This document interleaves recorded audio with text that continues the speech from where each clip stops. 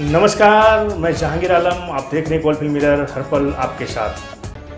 बांग्लादेश सीमा पर पशु तस्करी के मामले में सीबीआई द्वारा गिरफ़्तार सीमा सुरक्षा बल के कमांडेंट सतीश कुमार को बुधवार को आसनसोल सीबीआई कोर्ट लाया गया। गौरतलब है कि सतीश कुमार को मालदा और मुर्शिदा से पशु तस्करी के मामले में संलिप्त होने के आरोप में गिरफ़्तार किया गया था, जिसके बाद उसे कोलकाता निज़ाम पैलेस स्थित सीबीआई के दफ्तर में बुलाया गया था। वहाँ उनसे सात घंटे तक पूछताछ की गई। आरोपी बीएसएफ कमांडेंट सतीश कुमार जाँच में सहयोग नहीं कर रहे थे। उनके बयान में भी काफ़ी विसंगतियाँ पाई गई।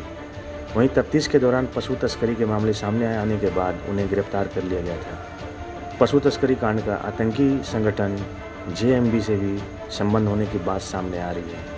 आरोपी सतीश के पशु तस्करी के मुख्य सरगना इनामुल हक के साथ गहरे संबंध बताए जाते हैं।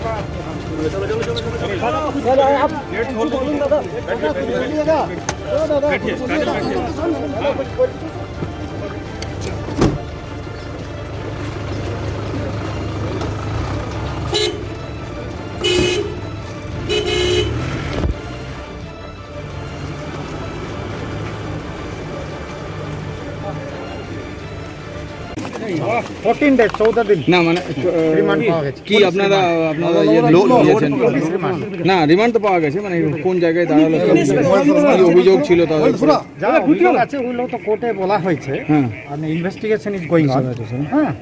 আপনারা भी তো শুনেছেন কি প্রসিডিং ওপেন কোর্ট ঠিক আছে? দ্যাটস অল ওনার শ্বশুর মশাইয়ের অ্যাকাউন্টে আছে। মানে ওইগুলো এখন সবগুলো ইনভেস্টিগেশন চলেছে।